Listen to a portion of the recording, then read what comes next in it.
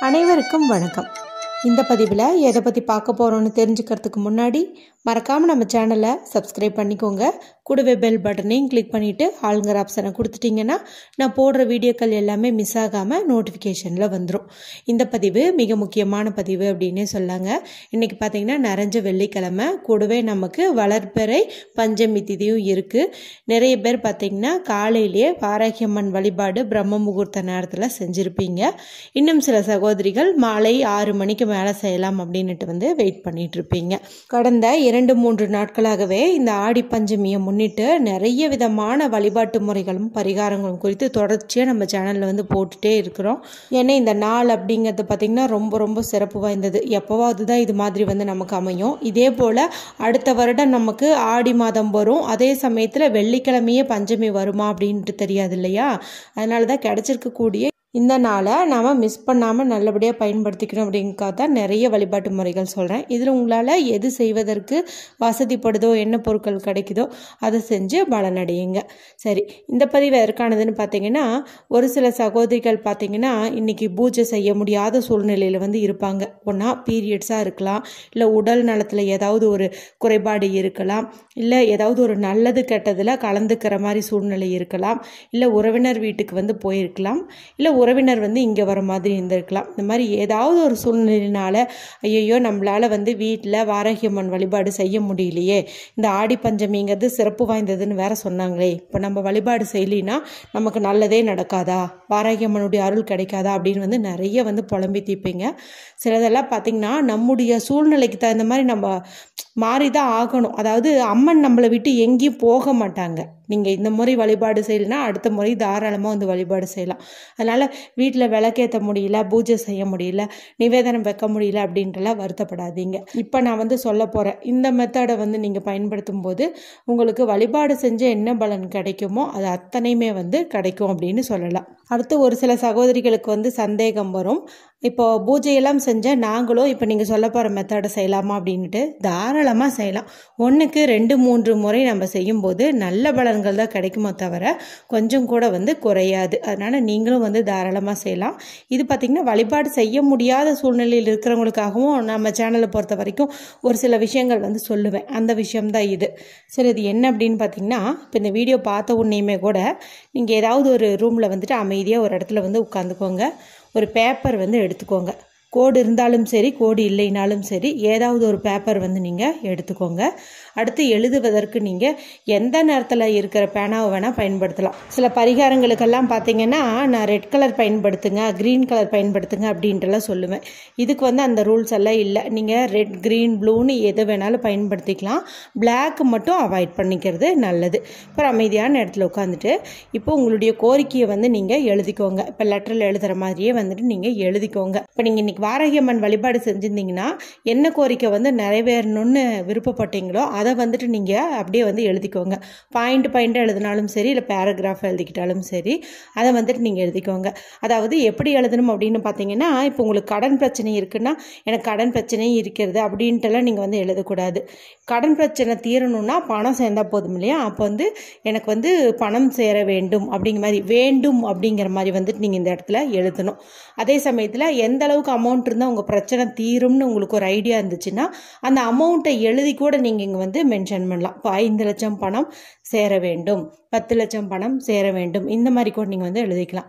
அடுத்து குழந்தை பாக்கியத்துக்காக வேண்டலான்னு இருந்தீங்கன்னா குழந்தை பாக்கியம் வேண்டும் அப்படின்னு எழுதுங்க. திருமணம் கைகூட வேண்டும். நல்ல வேலை வேண்டும். சொந்த வீடு வேண்டும். வாகனம் வாங்க வேண்டும் அப்படின்னு எல்லாமே வேண்டும் வேண்டும் வேண்டும்னு தான் எழுதணும். இந்த இடத்துல நீங்கள் வந்து எனக்கு நோய் வந்து தீரணும் கடன் தீரணும் அப்படின்ட்டுலாம் எழுதக்கூடாது. இந்த நோய் கடன் இதெல்லாம் பார்த்தீங்கன்னா நெகட்டிவான வேர்ட்ஸ் இதை வந்து நீங்கள் பயன்படுத்தாதீங்க.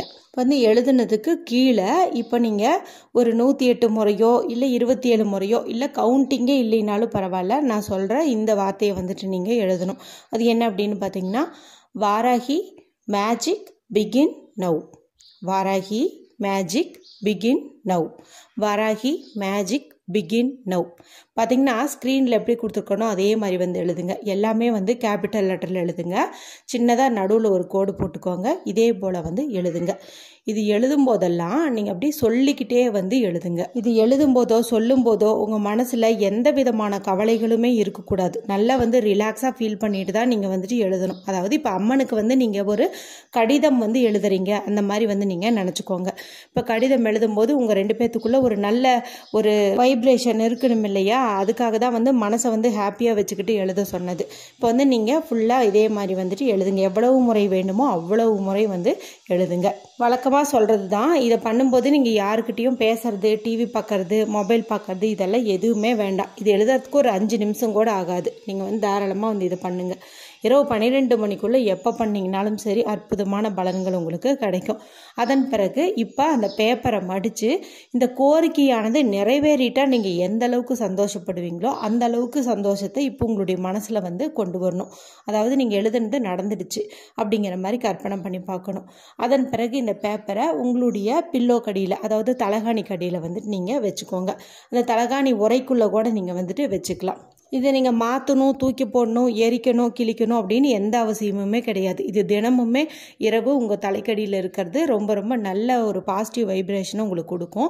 டைம் கிடைக்கும் போதெல்லாம் இந்த பேப்பரில் இருக்கிறது எடுத்து நீங்கள் படித்து பார்க்கறது வாராகி மேஜிக் பிகின்னுங்கிற வார்த்தையை சொல்கிறது இது எல்லாமே உங்களுக்கு நல்ல பலனை கொடுக்கும். எப்போவாவது இப்போ பில்லோ கவர் வந்து நீங்கள் துவைக்கணும் அப்படிங்கும்போது நீங்கள் அதை எடுத்து எங்கேயாவது ஒரு கபோர்ட்லேயோ பூஜை அறையில பத்திரமா வந்து வச்சுக்கோங்க. அடுத்து மடி வந்து இதையாக யூஸ் பண்ணிக்கோங்க. நீங்கள் மட்டும் தான் யூஸ் பண்ணணும். இந்த பில்லோவா அப்படின்ட்டுலாம் இல்லை. உங்கள் குழந்தை கணவர் யார் வேணாலும் பயன்படுத்தலாம். அதில் எந்த தவறுமே கிடையாது. எப்போ வந்து இந்த பேப்பர் வந்து கிளியுதோ இல்லை கசங்குதோ அந்த மாதிரி இருக்கிற சமயத்தில் மட்டும் இதை நீங்கள் எடுத்து கால்படாத இடத்துல போட்டுருங்க. கூடவே இன்று இரவுக்குள்ள ஒரு முக்கியமான விஷயத்தையும் நீங்கள் பண்ணிடுங்க. இன்னைக்கு வந்து வெள்ளிக்கிழமையாக இருக்குது இல்லையா? சுக்கர பகவானுக்கு உரிய நாளாகவும் இருக்குது. சுக்கர பகவானுடைய பரிபூர்ண அருள் இருந்துச்சு அப்படின்னா நம்ம வாழ்க்கையில் வறுமை அப்படிங்கிறது ஒன்று வராது. நல்ல ஒரு செல்வ வளம் பெருகும். கணவன் மனைவி அந்யோன்யம் வந்து அதிகரிக்கும். இதெல்லாம் வந்து உங்களுக்கே தெரியும். அதை விட சுக்கர பகவானுக்கு நம்ம ரொம்ப வந்து ஒரு ஈர்ப்பாளராக இருக்கணும் அப்படின்னா வந்து அவருக்கு உகந்த பொருட்களை வந்து நம்ம தானம் செய்யணும். அது பெரிய அளவில் செய்யணும் அப்படின்ட்டுலாம் கிடையாது. ஏதோ ஒரு சின்ன அளவில் நீங்கள் ஒரு தானம் செஞ்சீங்க. ஒரு வெள்ளை நிற ஆடை வந்து மற்றவங்களுக்கு வாங்கி கொடுக்குறீங்க. இல்லை கர்ச்சீஃப் வந்து வாங்கி கொடுக்குறீங்க. ஒரு வெள்ளை மொச்சை பேரை வாங்கி நாலு பேர்த்துக்கு கொடுக்குறீங்க. அப்படிங்கும்போது இந்த மாதிரியும் வந்துட்டு நீங்கள் பண்ணலாம். சரி எங்களுக்கு இந்த அளவுக்கெல்லாம் வசதி இல்லை. நாங்களே கஷ்டத்தில் இருக்கோம். நாங்கள் வந்து இந்த மாதிரி துணி வாங்கி கொடுக்கறது பருப்பு வாங்கி கொடுக்கறது இதெல்லாம் எங்களால் பண்ண முடியாது அப்படின்னு நினச்சிங்கன்னா வெள்ளிக்கிழமை தோறும் சுக்கர ஓரை நேரத்தில் அதாவது காலையில் ஆறு டு ஏழு மதியம் ஒன்று டு ரெண்டு இரவு எட்டு டு ஒன்பது இந்த மூன்று நேரம் வந்து சுக்கர ஓரை வரும். ஒரு ஸ்பூன் அளவுக்கு வெள்ளை சர்க்கரையை உங்கள் வீட்டு வாசப்படியிலையோ இல்லை எங்கேயாவது மணல் போன்ற பகுதி இருந்துச்சுன்னா அங்கேயோ வந்துட்டு நீங்கள் போட்டுட்டு வாங்க. இந்த ஒரு ஸ்பூன் சர்க்கரை போடுறதுல நம்மளுக்கு ஒன்றும் பெருசாக வந்து செலவாகாது. இதை சாப்பிடக்கூடிய அந்த எறும்புகள் புழு பூச்சிகள் இருக்குது பார்த்தீங்களா அது வந்து நம்மளை ஆசீர்வதிக்கும். அதனுடைய ஆசிகள் அப்படிங்கிறது பெரிய அற்புதங்களை நம்ம வாழ்க்கையில் ஏற்படுத்தி தரும். கர்ம வினைகளை வந்து நீக்கும் அப்படின்னே சொல்லலாம். இது தவிர டைமண்ட் கற்கண்டு வச்சுருந்தீங்க அப்படின்னா அதை கூட நீங்கள் வந்துட்டு இந்த மாதிரி வந்து பயன்படுத்திக்கலாம். மொத்தத்தில் வெள்ளை நிறத்தில் இருக்கணும். இனிப்பு சுவையாக இருக்கிறது கூடுதல் சிறப்பு. அதனால தான் வந்து நான் சர்க்கரையை வந்து உங்களையா வைக்க சொன்னேன். இந்த மாதிரி ஒவ்வொரு வெள்ளிக்கிழமையும் நீங்கள் செஞ்சுட்டு வந்தீங்க அப்படிங்கும் போதும் நல்ல நல்ல மாற்றங்கள் உங்கள் வாழ்க்கையில் ஏற்படுறதையும் உங்களுடைய கடன் சுமை வந்து கரைஞ்சு போகிறதையும் கண்கூடாகவே வந்து பார்ப்பீங்க. இந்த வீடியோ பிடிச்சிருந்தா மற்றவங்களோட ஷேர் பண்ணுங்கள் லைக் பண்ணுங்கள் மற்றும் ஒரு பயனுள்ள பதிவில் உங்களை சந்திக்கிறேன். நன்றி வணக்கம்.